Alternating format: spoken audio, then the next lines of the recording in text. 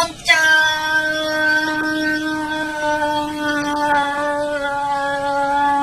ーどうも、猫店だよ。今日は猫店がやっているこちらのグラデーションネイルのやり方を皆さんに教えたいと思います。最近またね、ネイルを始めたんですけども、女子力アップしてますよ。私でもできるくらい簡単なので、ぜひご覧あれ。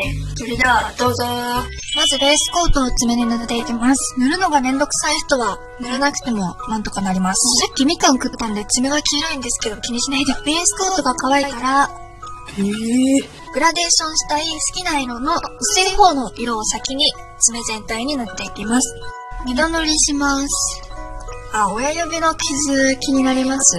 あの、これは、人参の皮をちょっと職人風にシュッシュッシュッシュッってあの、調子こいて、包丁でシュッシュってやったら、自分の皮も焼けた、みたいな。そしたら、グラデーションの色を作っていくんですが、ペラペラの紙とか、クッキングシートとかがあれば、そちらを用意します。そして、2色の色を黒こうやって、こうやってこうやります。グラデーションになるように混ぜていきます。この紫色のマニキュアは、12番のラズベリーっていう色です。そして、それをスポンジに吸わせます。こちらはダイソーのスポンジです。そしたら、あとはスポンジを爪にポンポンポンポンしていくだけです。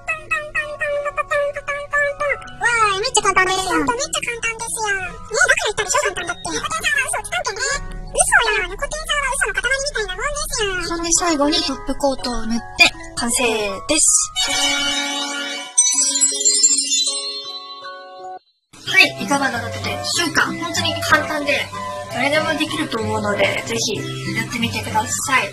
でね、今日使ったこちらのネイルはね、とても塗りやすくて私感動したんですけど、サロンネイルエナメルっていうあの、セリアで売っている108円なんですけど、めっちゃ塗やすくて、ハケが大きいからムラにならずにシュッシュって塗れる、とてもね、優秀なマネキュアなので、ぜひ使ってみてください。あとね、私がいつも使っている、コージーネイリストクリッククリスタルコートっていうトップコートなんですけども、これがね、また優秀で、塗ってからすぐ乾くんですよ。3分あれば絶対乾くかなっていう。すごく私せっかちなんですけど、お世話になっております。ということでね、今回は、個展がやっているこちらのセルフネイルのやり方をご紹介しました。